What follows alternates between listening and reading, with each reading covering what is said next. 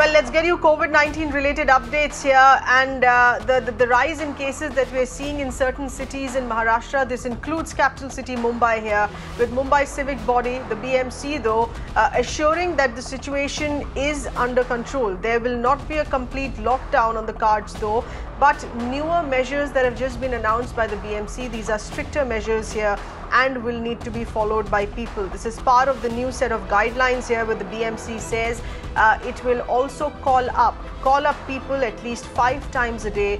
Those who have been instructed to be in home isolation, people are further going to be stamped and closely monitored here.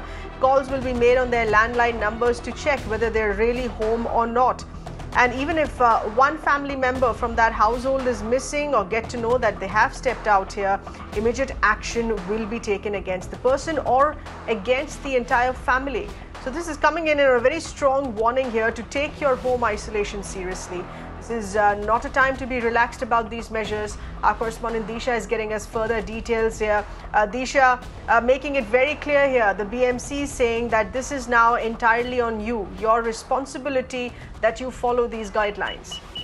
Well, that's right, Aaron. After several instances, after several advisories, notices, this is the final warning that has been given to the citizens of Mumbai by the civic body clearly saying that please do take the home isolation and quarantine rules very seriously because several instances in the past have come up where people do not take it seriously after one or two days.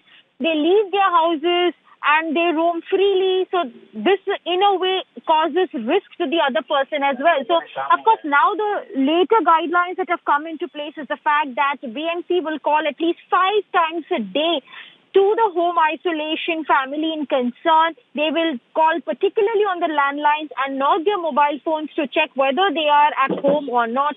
And if any one person is seen uh, on seen or heard not being there at home, then definitely action will be taken against not only that person but the entire family for that matter.